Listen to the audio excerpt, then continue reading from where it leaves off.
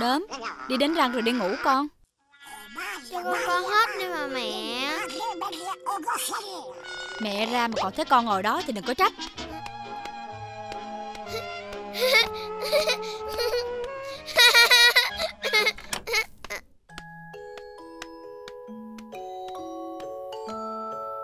Con chán là con nít rồi Con chỉ muốn làm người lớn thôi. Ừ? Tại sao con thích làm người lớn? Tại vì làm người lớn Không phải đi học.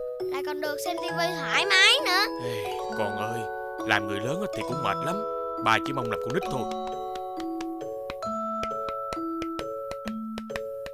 Hay là ba với con đổi đi.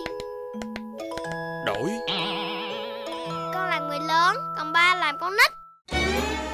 Được đó Nhưng để ba hỏi ý kiến mẹ Mai mình sẽ quyết định nha Dạ Từ hôm nay Đốm chính thức làm người lớn. Còn ba sẽ là con nít. Yeah! Con nít phải uống sữa cho mau lớn. À, Ngon quá. Đắng quá à. Bây giờ người lớn phải đưa con nít đi học. Nhưng người lớn không biết chạy xe. Trễ rồi Người lớn đi làm nha. Con nít vô lớp học bài đây Nhưng đó Không biết đường tới văn phòng. Vậy bây giờ phải làm sao? Ba cho người lớn mượn tiền. Người lớn đi xe ôm tới văn phòng.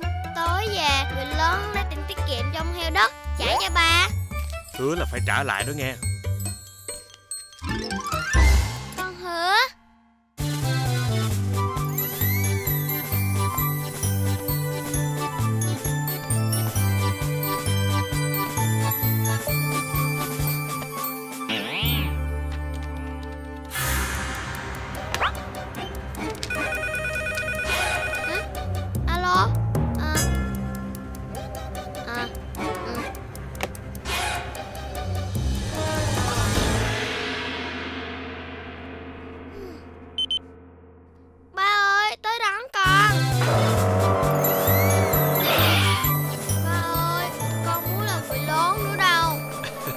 làm trẻ con đáng yêu hơn phải không con?